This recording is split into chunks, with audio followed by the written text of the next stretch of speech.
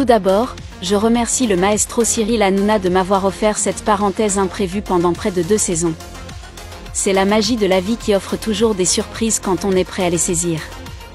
Malgré de forts désaccords et des moments compliqués, j'ai appris tant de choses sur le monde de la télévision, sur les autres et sur moi-même dans cette expérience. Et je suis fier d'être resté toujours sincère et fidèle à mes valeurs dans cette émission, quels que soient les interlocuteurs.